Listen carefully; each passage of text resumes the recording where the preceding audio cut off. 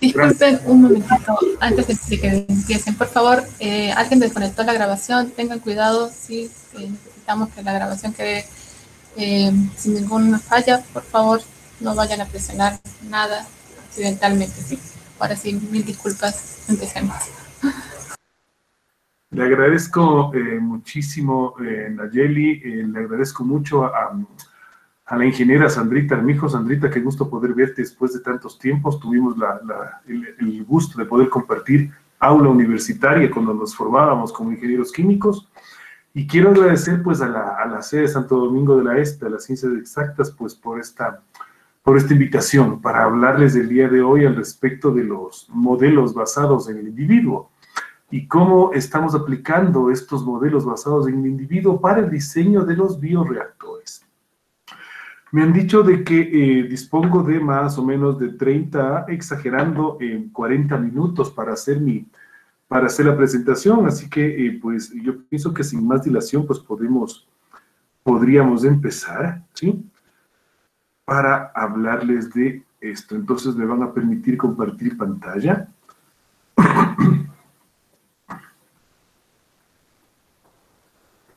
y pues lo tenemos ahí. Listo. Eh, ¿Me confirman si se puede ver, por favor? Perfectamente. Ya, listo. Entonces, em, como les han dicho, mi nombre es Pablo Araujo. Aquí em, soy profesor en la Facultad de Ingeniería Química de la Universidad Central del Ecuador desde el año 2005.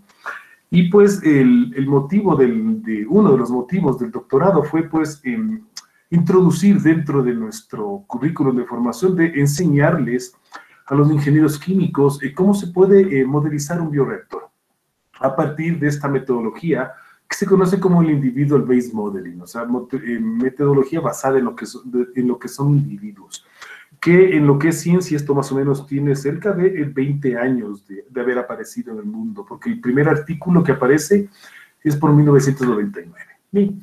Entonces, tengo dividida la presentación en cuatro grandes mundos. Em, eh, brevemente vamos a hablar de lo que es un sistema complejo, porque em, la modelización basada en el individuo está pensada y desarrollada eh, para sistemas en los cuales eh, tienes organismos vivos que están participando dentro de él. Cuando estamos hablando de organismos vivos, podemos hablar en cualquier escala, es decir, en modelos en los cuales participan bacterias, hongos, algas a nivel microscópico. Eh, puedes eh, también modelizar con modelos basados en el individuo eh, lo que son sistemas más grandes. Imaginémonos una, una piscifactoría, se podría modelizar con esto, porque son los, los peces, pues organismos vivos, vivos que se relacionan con su entorno. Podrías representar un sistema de crecimiento de un bosque, eh, podría representar eh, también el sistema, el, ciclo eh, de vida de un, de un, mosquito, por ejemplo, o pues ya sistemas mucho más grandes como son, por ejemplo, comportamientos de poblaciones, todo sistema en el cual tú tengas individuos que están participando de él y que se relacionan con, entre sí y con el medio ambiente es digno de ser representado a través de un sistema de, eh, eh, de, modelización basada en el individuo. El más famoso de estos ejemplos con lo que empezó toda esta filosofía de modelización está en, el famoso modelo del Predator-Prey, del cazador y la presa, es decir, de los lobos y los conejos en el bosque, o sea, porque el, lobo se alimenta de los conejos, eh, los conejos se alimentan del bosque y es todo un ciclo que debe estar en balance. Entonces, los modelos basados en el individuo permiten, pues, eh, representar este tipo de comportamientos, de este tipo de sistemas. Todo sistema en el cual existe un organismo vivo en cualquier escala que se relaciona con su medio ambiente y se relaciona entre sí, se puede modelizar a través de lo que son eh, modelos basados en el individuo. ¿De acuerdo? Entonces, dentro del campo de lo que son las ingenierías, nosotros tenemos toda una serie de, de modelos con los cuales tratamos de explicar lo que está sucediendo dentro de nuestro equipo, de nuestro bioreactor. ¿Sí? Entonces, em, vamos a hablar de lo que es metodología basada en el individuo, vamos a ver cómo se aplica esto a lo que son modelos de crecimiento celular. ¿sí? Entonces, eh, para ir centrándonos un poco, cuando se habla de modelos dentro de la biotecnología, eh, pues eh, se deben considerar dos, dos, detalles que son fundamentales. Primero, eh, que cada una de las células, cada uno de los, de los organismos vivos, pues tiene una naturaleza estructurada. Es decir, una célula, para pensar en el ejemplo más pequeño, tiene distintas divisiones, distintos compartimentos internos, y que cada uno de estos compartimentos internos, pues, empiezan a funcionar en función de las condiciones que rodean a la célula. ¿De acuerdo? Entonces, eso es una naturaleza estructurada de cada una de las células. Eh, no podemos pensar desde esta óptica de la modelización basada en el individuo de que una célula pequeña eh, va a tener exactamente el mismo comportamiento que una célula grande, ¿sí? o que una célula madura. Una levadura apenas nacida no se va a comportar igual que una levadura que ya ha tenido varios ciclos de reproducción, por ejemplo. ¿Sí? Luego, otra de las cosas que debemos considerar es la segregación del medio de cultivo. Es decir, eh, en, bioreactores en los cuales tienes sistemas de agitaciones, llamémoslo así, ideales, podrías pensar de que el medio de cultivo sobre el cual crece un microorganismo es bastante homogéneo, pero esto en la realidad no sucede. Ejemplos, por ejemplo, lodos de, de tratamiento de aguas por lodos activados. Los lodos son sistemas completamente heterogéneos. Ejemplo, suelo. Si nosotros queremos analizar el comportamiento de los microorganismos en el suelo, el suelo definitivamente es una matriz que es totalmente heterogénea. Eh, más ejemplos, lo que son las, las concentraciones de los distintos nutrientes cuando has dejado de agitar tu bioreactor o la, la oxigenación del reactor se ha detenido.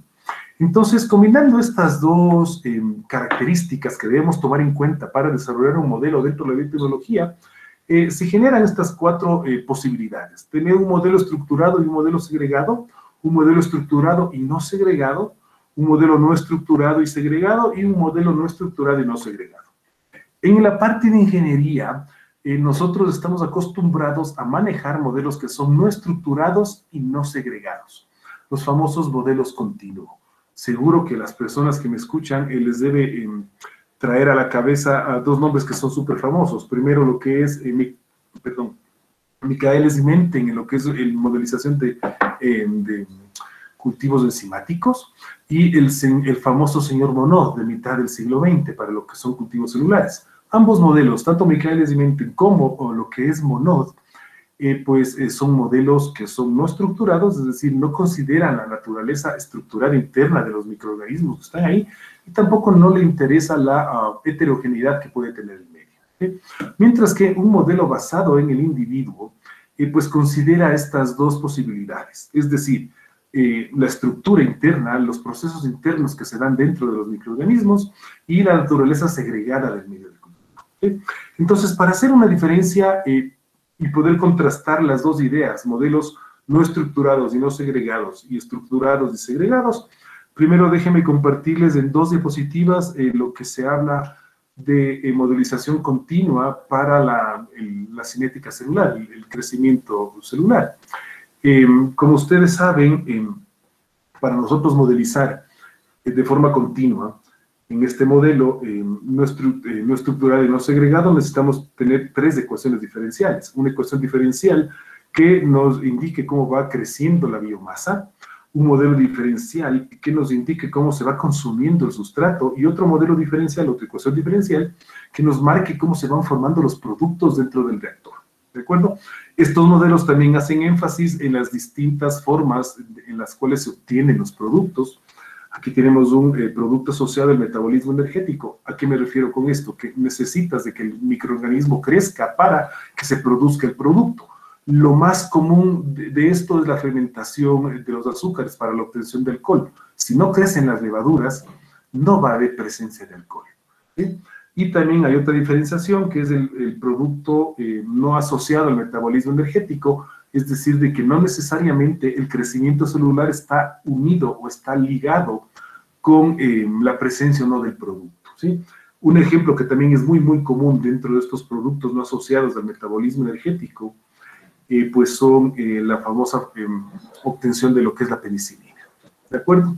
Entonces, eh, combinando esta y resolviendo el sistema de, estas, de estos juegos de ecuaciones diferenciales, nosotros llegamos a establecer tiempos dentro de los reactores, ¿verdad? Carga de los reactores, tiempos de residencias hidráulicos dentro de los reactores, los famosos dilution rate, etcétera. Y en reacción química, lo que es la famosa conversión del sustrato, o conversión del sustrato o conversión del producto. Bien, esto es un modelo continuo. Es un modelo continuo, es muy potente el uso de la modelización continua en lo que es la ingeniería, ¿sí? Pero eh, deja a un lado, por ejemplo, ¿qué pasa si es que el medio es heterogéneo? ¿Qué pasa si es que tienes distintas velocidades de crecimiento? ¿Qué pasa si es que tienes varias poblaciones de microorganismos, las cuales eh, compiten entre sí por los nutrientes? Eh, ¿Qué pasa si es que tienes eh, presencia de productos tóxicos en tu medio de cultivo? ¿Qué pasa si tienes una célula modificada, células que, que contienen plásmidos? Esto, estos modelos es ahí donde se quedan cortos. Y es ahí donde aparece en, nuestra, en nuestro mundo lo conocido como los modelos basados en el individuo. ¿sí? Entonces, para nosotros poder diferenciar un modelo continuo de un modelo basado en el individuo, eh, primero pensemos de que el modelo basado en el individuo es un modelo estocástico. ¿A qué me refiero con modelo eh, estocástico? De que tienes em, entradas fijas a tu modelo, pero eh, puedes tener salidas diferentes, ¿sí? que es algo muy común en los sistemas vivos. Tú puedes tener entradas fijas al sistema, ¿no es cierto? Una determinada concentración eh, de medio, o imaginémonos de que ha cambiado la concentración del agua residual urbana que vamos a tratar con nuevos activados. Las entradas son fijas, pero la respuesta del sistema, la respuesta de los organismos vivos que están dentro, pues pueden ser distintas. Por tanto, eso le da estocasticidad al sistema, ¿sí? Otra de las, de, las características para tener un modelo estocástico es que los parámetros de entrada eh, pues eh, no son valores fijos. Es decir, en em, los modelos continuos decimos, por ejemplo, la, el pH al cual se debe mantener en nuestro medio debe ser un pH de, qué sé yo, 5.3. Em, sabemos también por el uso de los bioreactores de que lograr mantener un pH exacto en 5.3 no va a ser posible porque vas a tener fluctuaciones de ese pH en el tiempo en que va funcionando el reactor. Y esto se lo entiende desde el punto de vista del control automático. No puedes tener una variable de control exactamente quieta, fija en un punto, sino vas a tener movimientos de esa variable, que a través del control automático lo, que hace es tratar de modularla. Entonces, un IBM te permite entender esto, cómo funcionan los, parámetros de entrada randómicos y cómo funcionan estas distintas entradas, em, entradas fijas y salidas, salidas distintas. Eh, un IBM es un modelo dinámico, es decir, los cambios que van sucediendo en nuestras variables, por ejemplo, en el crecimiento del microorganismo o en el consumo del sustrato, o en el, en el producto, pues es, eh, se lo va midiendo a través del tiempo. En estos son comunes el IBM con el modelo continuo. ¿sí? Y el, el, el IBM es un modelo heurístico, es decir, que está basado en las explicaciones eh, de los fenómenos que, eh, que, causan el fenómeno que nosotros estamos estudiando. ¿De acuerdo? No está basado en las observaciones como tal. En modelización continua, nosotros para poder validar el modelo necesitamos eh, tener datos experimentales que nos digan a ver más o menos por dónde están yendo las cosas. mientras que en, la, en el IBM em, esto es un paso secundario. Es un paso secundario que se utiliza para el desarrollo del, IBM, por, del IBM, porque eh, el IBM, cuando tú lo construyes, eh, vas basando tus explicaciones en qué es lo que causa el fenómeno. A ver, ¿por qué está consumiéndose? ¿Cuál es, o sea, es, otra forma de pensar para poder plantear el modelo. ¿sí? Más características del IBM, se las tengo aquí. Hemos dicho que es estocástico, dinámico y heurístico. Eh, para nosotros diseñar un IBM necesitamos pensar de que nuestros individuos nuestras células, nuestras levaduras, nuestros peces, nuestros árboles, las personas, eh, eh, el águila, qué sé yo, la mariposa o el mosquito que nosotros queremos eh, representar con nuestro modelo, es una entidad discreta. ¿A qué se refiere entidad discreta? De que tiene su propia masa, su propio peso, su propio ciclo de vida. ¿sí? No va a ser igual, ¿no es cierto?, alguien que tenga mayor tiempo de vida eh, que un individuo que tenga menos tiempo de vida. Entonces, por tanto, son individuos discretos y diferenciados uno del otro, perfectamente diferenciados uno del otro. Para nosotros programar un IBM, lo que necesitamos es dotarle de reglas de comportamiento a nuestros individuos. Entiendas individuos los que tienen vida, entiéndase también individuo como individuo el medio sobre el cual se desarrolla, ¿sí? Entonces nosotros programadores lo que hacemos es dotarle de reglas de comportamiento al sistema. Es decir, de esta manera tú vas a tomar tus alimentos, es decir, el uptake, de esta manera tú vas a reproducirte, de esta forma tú vas a sintetizar biomasa. De esta manera tú vas a hacer mantenimiento celular, por decirles algo. Entonces debe escribir código en la computadora. Nosotros le decimos al individuo y al medio de cultivo cómo se va a comportar. Y lo que hacemos es dejar que el individuo y el medio empiecen a interactuar entre sí para obtener eh, las, eh, las, propiedades emergentes del sistema. Eh, también pensemos de que un IBM, los individuos en el IBM, permiten que ellos se adapten y cambien sus características conforme va pasando el tiempo. Imaginemos, esto es muy común cuando tienes procesos de intoxicación o cuando tienes nutrientes que compites uno por el otro. Puede ser que una, población celular ya haya agotado todo el nutriente de tu, de tu medio. Llega a otra población celular y ya no lo encuentra. ¿Qué hace? ¿Cómo se adapta? ¿Cómo cambia? Y va cambiando esa característica en función del tiempo. Un IBM también te permite explorar conexiones es decir, cómo se pueden relacionar entre sí eh, distintas especies. Por ejemplo, qué pasa si es que en nuestro sistema introducimos un depredador o qué pasa si en el sistema de las, bacterias tenemos inhibición por producto. Entonces podemos ver, o inhibición por sustrato, podemos explorar conexiones entre los individuos, entre sí y entre el medio. Y pues eh, otra de las potencialidades de lo que es el IBM es que te permite trabajar en distintas escalas. El día de hoy les he traído eh, al final de la presentación tres ejemplos. Un ejemplo en un reactor de 500 eh, centímetros cúbicos, eh, una modelización que se realizó en la facultad de la planta de tratamiento de aguas residuales de Quitumbe, en Quito, y pues una modelización al respecto de una ciudad de mil, de mil habitantes. O sea, son tres, son tres escalas de modelos que les voy a presentar al final. Entonces, eh, lo que nosotros utilizamos para em, escribir nuestros modelos es este lenguaje de computación llamado NetLogo. ¿sí? La ventaja de NetLogo es que es un lenguaje que es gratuito, es código abierto, código libre, no es necesario eh, pagar una licencia por utilizar NetLogo. Entonces, es aquí donde nosotros escribimos nuestros modelos desde cero. Eh, ¿Por qué utilizamos NetLogo? Además de que es de código abierto y de código libre, es porque la, curva de aprendizaje que tú tienes para el es muy plana. Es muy plana, esto ya lo he comprobado en, los últimos dos años que estamos ya, llevando tesis de grado de ingenieros químicos que utilizan el logo. Eh, los ingenieros químicos de la Universidad Central no tienen el uso de este programa dentro de su malla académica, pero con, em, siguiendo eh, los tutoriales que vienen acompañados del programa junto con ejemplos que te los puedes encontrar en, la internet, pues en cuestión de menos de, cuatro semanas ya los, los tesistas, las personas ya tienen un manejo de un 80% de la plataforma de programación, entonces es bastante bueno.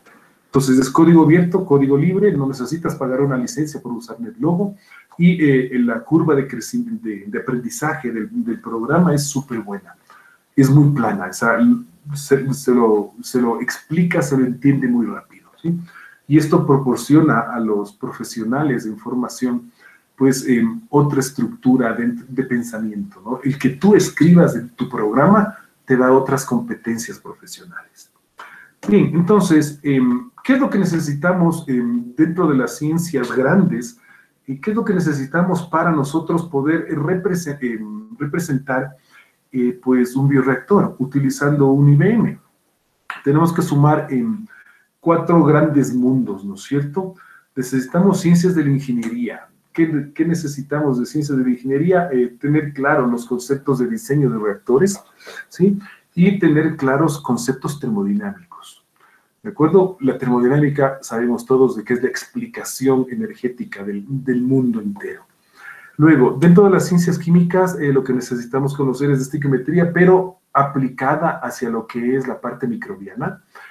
Y pues dentro de las ciencias biológicas, lo que nosotros necesitamos es em, conocer de em, conocimiento básico, ¿no es cierto?, de lo que son las rutas metabólicas grandes que cumplen los microorganismos, las famosas pathways, ¿no? Es decir, saber si es que un microorganismo ejecuta o no desnitrificación saber si el microorganismo tiene o no eh, característica aerobia o puede trabajar también en fase anaerobia, etcétera. O cuando se inhibe el crecimiento del microorganismo, sea por producto o sea reactivo. entonces tú sumas estas cuatro, estas cuatro componentes de cada una de las ciencias y con ese conocimiento ya te puedes lanzar a, escribir modelos. ¿De acuerdo? Entonces, eh, inicialmente los, nuestros modelos de la universidad empiezan por la parte de estequiometría, es decir, escribir la estequiometría microbiana. Para escribir la estequiometría microbiana, lo que nosotros hacemos uso es de esta herramienta conocida como MBT Tool que también es una herramienta eh, compartida con, en, acceso abierto, libre completamente y está basado en este modelo, de, el modelo termodinámico de electrones equivalentes. ¿Qué te da la herramienta? Eh, te permite escribir una reacción química eh, balanceada que represente el crecimiento celular. ¿De acuerdo? Entonces, MBT Tool lo que hace es esto. escribe una reacción que represente el catabolismo de la, del, microorganismo, escribe otra reacción que representa el anabolismo del microorganismo, ¿sí? Eh, de cada una de estas dos reacciones, la que representa el catabolismo y la que representa el anabolismo, eh, calcula sus eh, energías de Gibbs, sus deltas de energías de Gibbs, los combina con una eficiencia en el proceso y lo que termina haciendo es describir una reacción, una reacción que representa pues todo el crecimiento. Como ustedes ven, qué insumos necesitamos darle a la herramienta, tenemos que decirle cuál es la fuente de carbono, es decir, en términos sencillos, qué come el microorganismo. Necesitamos darle un donador de electrones, su fuente de carbono, su donador de electrones. Necesitamos establecer cuál es el aceptor de electrones. Necesitamos decir cuál es la fuente de nitrógeno que va a utilizar el microorganismo para sintetizar biomasa. Y necesitamos darle una fórmula empírica que contiene los cuatro elementos principales de la fórmula del microorganismo. Combinamos esto con lo que es termodinámica, le ponemos un valor a una eficiencia que la recomendada es 0.37 y la herramienta se encarga de darnos una ecuación química uh, balanceada, que ya nos da predicciones de crecimiento del microorganismo. Les he traído aquí un ejemplo, fíjate, aquí tenemos esta reacción de energía, es la que representa el catabolismo celular, esta reacción de síntesis es la que representa el anabolismo celular. Con los conceptos termodinámicos lo que hacemos es escribir una reacción balanceada. Si ustedes son observadores, tenemos aquí el donador de electrones, tenemos aquí el aceptor de electrones, en este caso es una desnitrificación la que estamos representando, eh, y también la, la, la, fuente de nitrógeno para la síntesis de la biomasa, y como producto de la reacción, si se puede ver aquí, eh, ya tenemos las células incluidas como un producto de la reacción más todos los otros productos del metabolismo. ¿no? Fíjate, del, nitrato hemos transformado a nitrógeno. Ecuación balanceada para los cuatro elementos químicos. Está basada en la termodinámica, por tanto le da mucha validez y ya tenemos una predicción sin hacer un solo ensayo. En laboratorio nosotros ya tenemos una predicción de más o menos, por ejemplo, cuántos gramos de célula vamos a tener por una determinada cantidad de donador de electrones. ¿sí? O qué cantidad de producto nosotros podríamos obtener a partir de una, de una determinada cantidad de donador de electrones. Listo. Entonces, esto para nosotros es nuestro punto base. nuestro punto base es decir, escribir la estequiometría microbiana. Perfecto. Luego, recuerden que les decía de que en los IBM necesitamos darles reglas de comportamiento a nuestros individuos. En los modelos que hemos escrito en la universidad, pues nuestros individuos tienen cuatro reglas de comportamiento fundamentales algo llamado el uptake o lo que es captación de nutrientes. ¿sí? Esto está basado en, eh, pues, comparar, ¿no es cierto?, los coeficientes estequiométricos que salen de la reacción igualada con una Umax, que puede ser em, teórica como puede ser experimental. ¿De acuerdo? es un valor. ¿Cuál es la máxima velocidad del crecimiento? Con esto, lo que nosotros em, establecemos en el uptake es, pues, Em, la ah, capacidad máxima que tiene el microorganismo de absorber nutrientes, ¿sí? Combinando las ecuaciones con la UMAX en el microorganismo con su biomasa, nosotros decimos la capacidad que el organismo tiene para consumir nutrientes tiene este determinado valor. Son valores de velocidad, ¿no? Gramos de glucosa, por ejemplo, por mol del microorganismo y por hora. Luego, eh, tenemos que em, sumarle la disponibilidad que tienen los nutrientes en el medio. Recuerden que necesitamos tener un medio que sea heterogéneo. No todos los nutrientes son completamente disponibles. Em, esto nace de la idea de cuando se modelizan en lodos, cuando se modelizan el suelo, no todos los nutrientes están disponibles en el suelo. Entonces, se le da una disponibilidad a cada uno de los, de los nutrientes eh, que están alrededor del microorganismo y lo que hace el código es comparar los dos valores. Es decir, yo comparo en el código la capacidad máxima que tengo yo em, para absorber nutrientes, que viene de, por mi tamaño, por mi, por, por mi biomasa, y la comparo con la disponibilidad de nutrientes en el suelo. Entonces, y escoge el microorganismo en nuestro código el menor valor. Este es el procedimiento que le hemos llamado APTEC. Esta es una de las reglas de comportamiento que le decíamos. En resumen, regla de comportamiento para hacer absorción de nutrientes, tú compara cuánto puedes absorber por tu tamaño celular y compáralo con la cantidad de nutriente que tienes en tu medio de cultivo. Escoges el menor valor y de ahí va a salir la cantidad que realmente vas a absorber de nutriente. La siguiente regla de comportamiento tiene que ver con mantenimiento celular. Eh, por ejemplo, esto es algo que un modelo continuo no puede medir, es decir, cuánto necesita de su um, nutriente los microorganismos para mantenerse sin necesidad de crecer. Aquí nosotros comparamos eh, pues dos, eh, dos valores, un coeficiente de mantenimiento celular que puede venir de la fase de, estudio teórico o pues puede ser un valor junto con la reacción de energía que habíamos representado el, con el MBT Tool, ¿verdad? Y pues eh, nos salen las necesidades de mantenimiento. ¿Qué necesidad de mantenimiento celular tiene el microorganismo? Eh, nosotros comparamos los valores que hemos comido, que se llama useful en nuestros códigos, con las necesidades de mantenimiento y escogemos el menor valor. Es decir, la necesidad de mantenimiento de mi microorganismo, imaginemos que es un, un gramo de glucosa por cada gramo de biomasa, pero la cantidad que yo logré absorber por la disponibilidad del medio, etcétera, es 0.5. O sea, ¿con qué cantidad de esto eh, yo me mantengo celularmente hablando? Pues voy a escoger siempre el menor valor. ¿De acuerdo?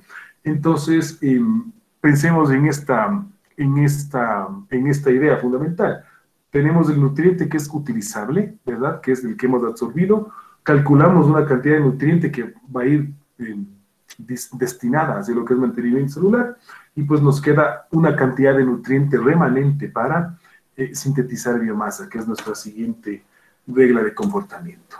Entonces, em, aquí es donde juegan más las reacciones químicas que hemos descrito antes. Tenemos los coeficientes de las reacciones, ¿verdad? Tenemos una cantidad de nutriente eh, ya eh, disponible después del mantenimiento celular, se calcula un reactivo limitante, entra en la reacción, ¿sí? Y pues el efecto es que el microorganismo va creciendo. ¿no? Todo lo que el microorganismo no ha utilizado de los nutrientes, eh, lo devuelve al medio de cultivo. Esta es la regla de comportamiento que nosotros tenemos escrita para la síntesis de biomasa. Y para la reproducción, eh, pues eh, tenemos codificados códigos en que los microorganismos deben llegar a una masa mínima de reproducción, o también tenemos códigos que van a ver en, los ejemplos de que los, em, los microorganismos deben cumplir un tiempo para reproducirse. Si no alcanzan este tiempo, no se reproducen. Entonces, esto es una bipartición sencilla, el microorganismo va ganando tamaño hasta que se, eh, se reparte eh, pues, eh, su masa en dos organismos completamente idénticos. ¿no? Estas son las cuatro reglas fundamentales sobre las cuales están basadas todos nuestros modelos. Entonces, el, el primer modelo, ya el, para ir, ¿cómo estamos en el tiempo? Bien, para ya ir cerrando un poco esta explicación, el primer modelo que les traje es el, el, denominado el Indice Identification. Esta es la última, la última de, las, de, las publicaciones originadas ya en la, en la universidad, ¿no es cierto? En, en, la cual lo que nosotros buscamos es representar un bioreactor de laboratorio de 500, eh, de 500 eh, centímetros cúbicos de tamaño, ¿sí? En el cual... Eh, se nos realizan dos fases. Primero tienes una fase em, de cultivo batch, eh, aeróbica eh, totalmente con, con ingreso de aire estéril, pasan las 24 horas y pues este reactor se transforma en un CSTR, eh, en el cual se suspende la entrada del aire, entras en lo que es fase anóxica, fase aerobia, de 24 a 120 horas con un dilution rate de 0.05, es decir, es un reactor que trabaja de forma mixta. ¿sí? Em, es, el, es, ya les digo, fue es el modelo publicado. Este estudia una bacteria desnitrificante. Es, es una o dos bacterias desnitrificantes dentro de este medio. Em, aquí les he traído las reacciones químicas que ejecutan los microorganismos dentro del reactor. Estas son las que se obtienen a través del MBT Tool. Fíjate cómo logramos representar nosotros toda la ruta de desnitrificación haciendo uso de cuatro, de cuatro reacciones químicas. ¿sí? Esta es una captura del, del modelo, ¿sí? en el cual eh, pues nosotros podemos seguir el crecimiento de la biomasa dentro de nuestro reactor. La primera fase es la fase batch y en este punto, a las 24 horas, tenemos la fase CSTR, que es lo que sigue el comportamiento que se espera. Eh, tenemos eh, aquí todas las variables, fíjate, tienes la variable para el dilution rate, es decir, cuánto abres la llave de, de tu reactor, distintas concentraciones en el medio de cultivo, eh, tiempo de simulación, eh, tienes las, estas variables que ustedes ven aquí, eh, pues tienes toda la, lo que son los uptakes individuales y se pueden ir monitoreando dentro del sistema, pues, por ejemplo, cómo va comportándose el, sustrato o cada uno de los productos, etcétera, ¿sí? Estos son los resultados publicados en los cuales se hacen la comparación de los resultados del modelo, que es lo que ustedes ven, los triángulos en color azul con los datos experimentales de las distintas evoluciones temporales de los, esto es biomasa, esto es nitrato, nitrito y óxido de nitroso, se ve de que el comportamiento está, está bastante ajustado a la realidad, eh, y esto es para otro ensayo, ¿no es cierto? Eh, para otro tipo de microorganismo, ¿no? Este es para la Chromobacter psilocilans, el comportamiento del modelo versus eh, la, la, experimentación, ¿sí? Este es el primer ejemplo que les he traído, es un reactor que tienes especies puras microbianas, ¿no? o, tienes eh, para nitrificans o tienes en otros ensayos de la Chromobacter psilocybans. 500 centímetros cúbicos, dos fases de, crecimiento, una fase batch totalmente aerobia y una fase CSTR totalmente anaerobia. Luego, eh, quisimos subir en escala, lo que ustedes están viendo es una foto de la planta de tratamiento, del reactor principal, del reactor principal de la planta de tratamiento eh, de lodos activados de Quitumbe en Quito. Esta planta, acá ustedes pueden ver las montañas en el fondo, todo lo que es el Pichincha, ¿sí? Esta planta de tratamiento trata las aguas urbanas de 13 barrios de la zona de Quitumbe en Quito, ¿sí? Y pues el reactor tiene dos fases, eh, una fase anaerobia y otra fase aerobia. Eh, se puede ver en la fotografía que aquí en la curva del reactor principal eh, tienes eh, como más presencia, ¿no es cierto? Se ve aquí de la cantidad de, de burbujeo, o sea, aquí se podría pensar que se está dando la fase aerobia del vector, mientras que en las, en las fases, en, las partes rectas del vector, digamos así, ¿no es cierto? Está la fase anaerobia, es decir, los, los, el input del aire está siempre en las curvas del vector, ¿vale? Entonces, nos propusimos simular el reactor de Quitumbe Em, con modelización basada en el individuo para poder entender, ¿no es cierto?, cuál es la dinámica del crecimiento del, del vector. Eh, pues lo que tenemos aquí, pues es, les he traído un pequeño videíto, ¿sí? Ah, déjame quitar la pluma. Quitemos el puntero láser, pongamos a correr el video. Eh, ya nosotros no tenemos una sola especie, lo que ustedes ven, la fase aerobia y la fase anaerobia está representada por colores, ¿sí? El sentido de flujo del reactor, eh, pues eh, se lo, marcan estos microorganismos. Entonces aquí ya tenemos no especies bacterianas puras, sino ya tenemos familias de bacterias. Las bacterias que son anaerobias, las aerobias, nitrificadoras, desnitrificadoras. Entonces se va viendo cómo se van comportando cada una de estas familias porque ya no son especies únicas, cómo compiten entre sí eh, los microorganismos dentro del reactor y lo que vamos nosotros teniendo eh, es eh, ver, por ejemplo, los parámetros que miden inquietudes, cuánto se ha reducido del DQO5 y de la DBO en el agua tratada. Entonces, aquí nos va dando, ¿no es cierto?, en estas curvas que van creciendo aquí, cómo va reduciéndose la DBO. Estamos viendo también cómo va bajando la cantidad de nitratos, eh, si se puede ver aquí el comportamiento del oxígeno dentro del reactor, la producción de nitrógeno por las fases de desnitrificación de los, de los microorganismos, eh, más o menos se ve que el contenido de nitratos eh, se va manteniendo constante. ¿sí? Em, esta fue una tesis de grado hecha por Jonathan Herrera, que se acabó de graduar. Jonathan fue de los primeros estudiantes que se nos graduó en la facultad en esta época de pandemia, con este reactor de Quitumbe. Esta parte del reactor de Quitumbe de la tesis de Jonathan es, la, em, digamos que es el reactor mm, puramente dicho, con sus dos fases, anaerobia y aerobia. Eh, según nuestra modelización, pues eh, tenemos claro eh, de que llegamos a los parámetros de, de, arrojo del agua, o sea, para arrojar el agua al, al sistema de Quitumbe, ¿no? Nos permite establecer cuáles son, nos, nos ha permitido el modelo establecer cómo se relacionan entre sí las especies, ¿de acuerdo? Y qué cambios podría sufrir, o sea, cuál es la tolerancia en los cambios de entrada hacia el rector principal de Quitumbe con nuestro modelo. Eh, tuvo tan buena acogida este primer modelo que en la actualidad estoy tutoriando tres tesis más que le están colocando más, eh, más detalles a este modelo. Por ejemplo, eh, ya se va a simular la parte de entrada, es decir, el CSTR con recirculación, y hay otra tesis que va a incluir más especies ya de organismos más grandes, es decir, parásitos, amebas, ese tipo de cosas que ya entren dentro de esto, que se coman las bacterias, porque ahora las bacterias están compitiendo entre sí. Hay otra tesis que va a ser el mismo reactor, pero en sentido PFR, o sea, es decir, en flujo pistón. Y hay una tesis más que va a utilizar el lodo de este reactor para em, producir metano e hidrógeno, ¿no? Entonces, con eso estamos cerrando la parte de la modelización de esto de, de aquí, con IBM, ¿no? Bien, em, les he traído también otro ejemplo ah, en que estamos trabajando, y les digo, estamos desarrollando tres modelos más para lo que es Quitumbe, en la planta de tratamiento, Estamos trabajando eh, de forma conjunta con EP Petroamazonas en, otra, en dos tesis de grado adicionales, en la cual hacemos una tesis para land farming y otra para biopilas, de lo que es em, suelos contaminados con crudo, ¿sí? que es la, la, principal tarea, bueno, una de las principales tareas que tiene la, la División Amazonía Viva de, Petra, de Petroamazonas.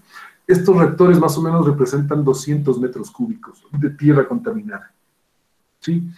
Estamos trabajando en eso y les digo más tres reactores más que complementan el Tequitumbe y en, época de pandemia planteamos otro modelo, que ese es ya mi tercer ejemplo, con lo cual ya voy terminando mi explicación, estaría dentro del tiempo, eh, de poder entender, ¿no es cierto?, eh, la dinámica que tiene eh, la, la COVID-19 en función de la, ah, de la movilidad de la población versus lo que son la presión de camas que se hace sobre el las casas de salud. Esto es un trabajo conjunto entre eh, la Pontificia Universidad Católica, a la SPOL de Guayaquil y pues eh, nosotros en la Facultad de Ingeniería Química, ¿no? Em, aquí les he traído las dos del modelo. Eh, fíjense, em, estamos simulando una ciudad de más o menos mil habitantes, ¿de acuerdo? Em, los habitantes tienen en este caso libre movilidad. Esta línea azul y esta línea ploma que ustedes ven aquí, pues son, es cuidados intermedios y los cuidados intensivos en, el hospital. Entonces, em, pues se ve más o menos en qué punto se podría el, famoso aplanar la curva, cuánto inciden las, las, eh, la, la, libertad de movilidad que se les da a las personas sobre las personas infectadas, en, cuándo se ve em, saturado el sistema sanitario, ¿sí? Aquí es otra, otra simulación, pues cambiando distintas, distintas variables, o sea, para más o menos ir, ir entendiendo cómo se, se comporta, ¿no es cierto? ¿Qué va a pasar? Según nuestro modelo, porque este modelo lo escribimos entre finales de marzo y, la mitad de abril, ah, nosotros, según estos datos, decíamos que para cuando en Quito estemos con 12.000 personas contagiadas, y pues ya la presión sobre el sistema sanitario iba a ser eh, muy fuerte. Eh, y pues más o menos em, estuvimos cerca, eh, Quito colapsó su sistema sanitario cuando sobrepasó los, los 13.000 casos de, de, COVID, ¿no? Entonces, sobre esto es lo que estamos trabajando ahora, más todo lo que son los reactores de Quitumbe, más las plantas de tratamiento de, de land farm y biopilas para tratar los suelos con ¿no? Eh, esos son los tres ejemplos que tenía para ustedes, esta es explicación súper rápida de lo que es un IBM. Eh, siempre eh, que termino yo las, las, presentaciones, ¿no es cierto? pues abro la, la, invitación para, si es que alguna de las personas que me ha escuchado, ¿no es cierto?, está interesada en poder escribir un modelo basado en el individuo, está pensando en su proyecto de fin de, carrera, le gustaría o participar de alguno de los, de los, de los, de los, proyectos que tenemos, eh, que, que, estamos eh, montando, pues eh, son bienvenidos. La verdad es que son bienvenidos. Tenemos mucha, mucha, muy, buena amistad con varios profesores de la ESPE. Entonces, la idea es poder generar este tipo de, de sinergias entre las universidades, ¿no? Entonces, son bienvenidos. Estos son mis datos, como les había puesto. y pues ahí tienen mi dirección de correo electrónico o pues me, por cualquiera de estos hashtags, el sé crear soy central o el sé investigar soy central. Listo, entonces eso era lo que tenía lo que tenía para el día de hoy. No sé si es que em, estoy dentro del tiempo que me habían pedido y pues em, si, tienen alguna pregunta, pues estoy encantado de poder, de poder responderla.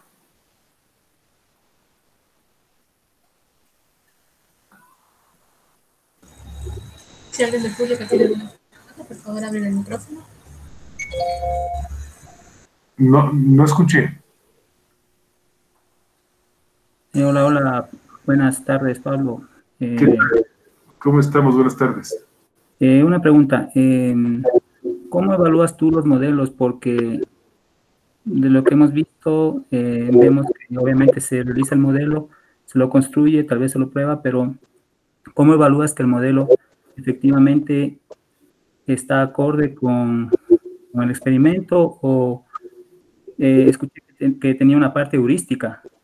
Correcto te dice en palabras lo que tú tratarías de, bueno, la parte del modelo, pero no sé si hay evaluación estadística o qué tipo de evaluación para validar el modelo se hace. Correcto, sí. Fíjate, eh, nosotros tenemos dos etapas de validación del modelo. La primera se llama la calibración de los parámetros y la segunda es del análisis de sensibilidad de cada uno de los parámetros que tiene el modelo.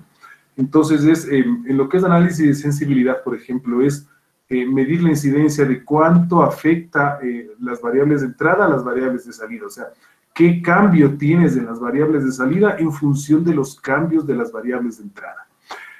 Eh, esos análisis de sensibilidad, para hacer el análisis de sensibilidad, lo que nosotros utilizamos es unir NetLogo con R, que es este software estadístico. Y hay herramientas que unen los dos entonces, R es muy potente en cálculos, porque el logo es muy bueno para simular, pero a veces en lo que son cálculos ya estadísticos de los resultados, se nos queda un poquito corto, ¿no? También es ideal si ya tú quieres calibrar y hacer sensibilidad del modelo, que puedas complementar la modelización con datos experimentales. Con datos experimentales, es decir, mira, por ejemplo, el tiempo de vida de estas eh, bacterias dentro del el reactor está visto que son 38 o 46 horas, ¿no? Y pues em, hay que buscar que el IBM trate de em, darte a entender por qué ese tiempo está dentro de eso. Entonces, siempre un valor experimental con el cual puedas acompañar al modelo está muy bien. O incluso eh, se hacen experiencias eh, con modelos continuos. Se plantea también la modelización continua, se ve en cuánto tiempo la modelización continua converge para una determinada conversión del sustrato y en cuánto tiempo converge el IBM, ¿no? Tienen distintos parámetros ambos, pero es datos experimentales y más lo que es calibración de parámetros y análisis de sensibilidad, que todo esto se hace con R. Gracias, muy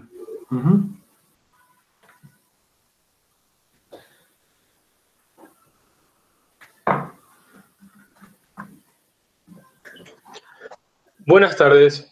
En el programa NetLogo, las bases que se usan para el modelo son las ecuaciones diferenciales o son las ecuaciones de las reacciones químicas.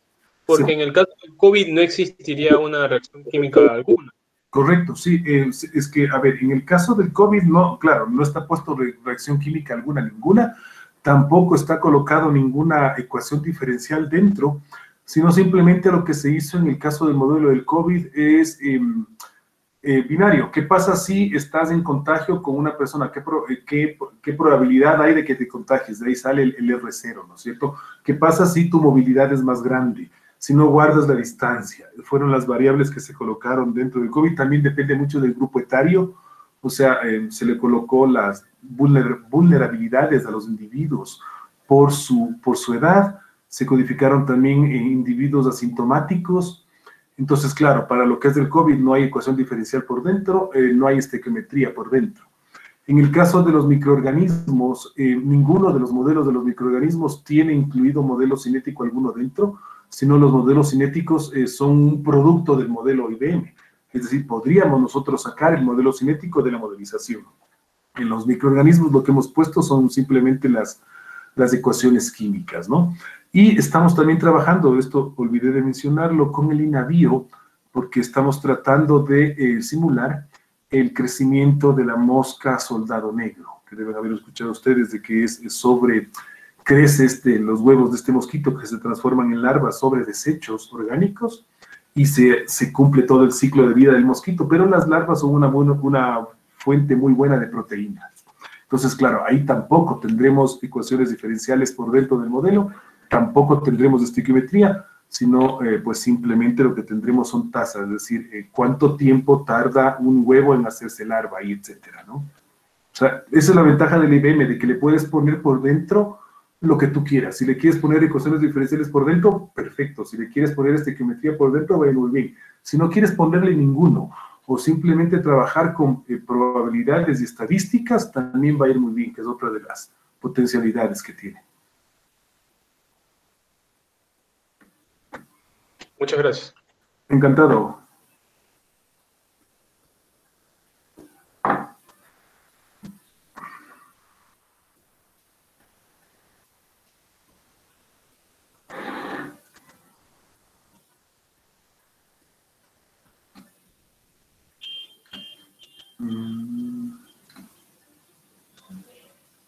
Ahí puedo, he, cambiado la visión de la, de la sesión para poder ver más cámaras de lo que solo estaba viendo a la, persona hablante.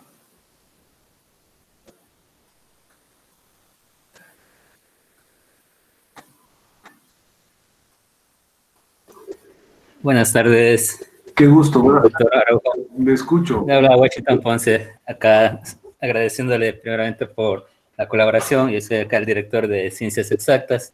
Qué gusto. Y hemos estado acá haciendo las, un ciclo de charlas durante este semestre y, qué gusto que nos haya acompañado con este tema. Eh, dentro de, de, su exposición y bueno, pensando en la, en la modelación, sobre todo qué pasa al modelo basado en individuo, ¿no?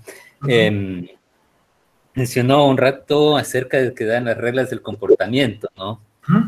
Y estaba pensando, así, yendo a las tendencias que se escucha también que de repente en algún momento se podría también pensar en que esas reglas de comportamiento las podría en un modelo más allá con inteligencia artificial o machine learning eh, adaptarlas para que sea mucho más potente y, y, ver qué pasa ahí, ¿no? Sí, eh, yo le agradezco por su, por su pregunta. Fíjese que justamente sobre esto del machine learning, eh, trabajamos con el laboratorio, el Oak Ridge National Laboratory, durante el año 2017 al 2019.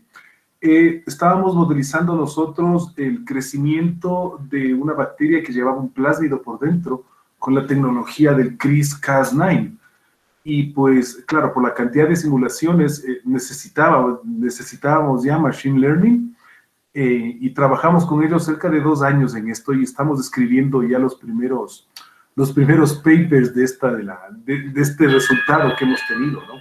Sí, pero claro, eh, cuando se habla de Machine Learning ya lo que necesitamos es High Performance Computing, o sea, eh, computación ya de alto, de alto desempeño, eh, y claro, eso lo tienen los americanos muy bien. Como Universidad Central tenemos un User Agreement de cinco años para trabajar con ellos, y hasta el momento hemos trabajado en esto. Yo le digo, trabajamos en una bacteria que transportaba un plásmido, y pues mataba a otra bacteria. Eh, nosotros en Quito escribíamos el modelo y lo enviábamos de forma remota a la supercomputadora que tienen ellos en Tennessee, en el Oak Ridge National Laboratory.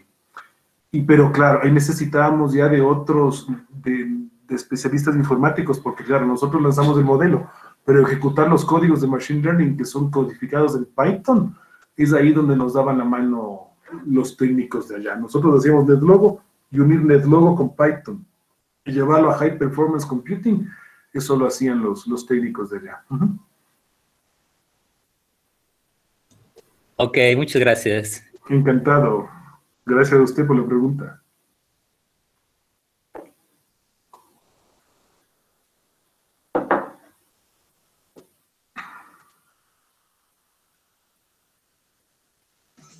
Pablo, una pregunta.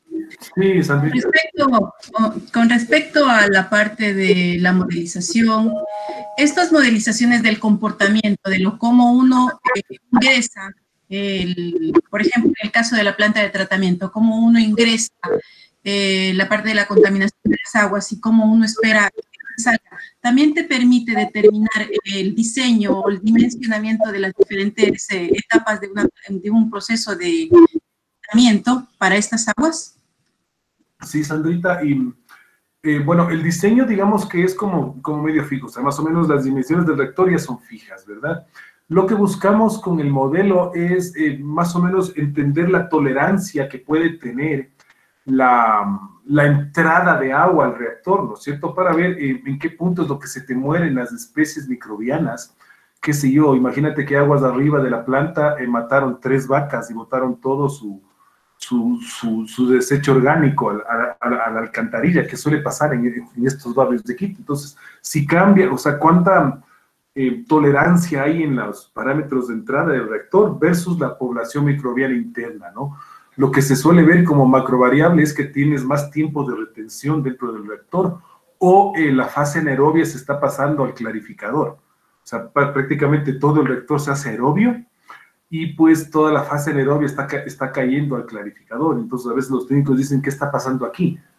Entonces, claro, es porque cambió alguna, alguna, alguna condición a la entrada o qué pasa si es que el agua a la salida no está cumpliendo el parámetro de DQO, de DBO, con el cual debes, o de nitritos, o de fosfatos, con el cual tienes que, puedes enviar el agua ahí hacia afuera, ¿no?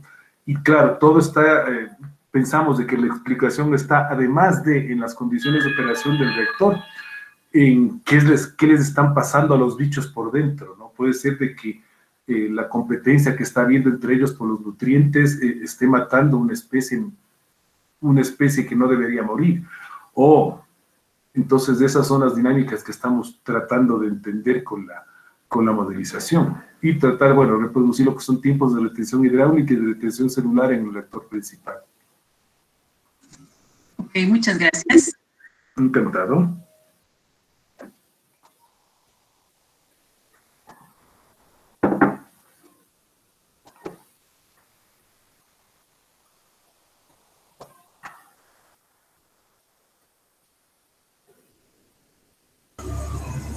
Si no hay más preguntas por parte de los participantes, eh, le damos las gracias al doctor Pablo. Eh, esperamos contar con usted en alguna otra oportunidad y muchas gracias al público asistente. Pues ha sido un placer tenerlo en la exposición el día de hoy, ha sido muy interesante y en nombre del Departamento de Ciencias Exactas de la sede eh, le reitero el agradecimiento. A ustedes, muchísimas gracias. Y como les decía en la presentación, somos universidades hermanas, la ESPE y la, y la Central, y pues encantado poder colaborar en lo, en lo que sea del caso, ¿no es cierto? Un saludo muy grande para todos. Muchas gracias. Igual. de mi parte, Pablito, muchas gracias por tu colaboración. E igual habernos visto a los años con de esta modalidad, eh, luego de tanto tiempo alejados de la facultad. Así es, Andrita. Un gusto, pues, y, ya sabes, cuando lo que se pueda apoyar, encantado de la vida, la verdad. Ok, Pablo. Que tengan muy buena tarde, ¿no? Muy buenas tardes a todos. Buena tarde con todos, que pasen muy bien, hasta luego. Hasta luego, buenas tardes. Buenas tardes.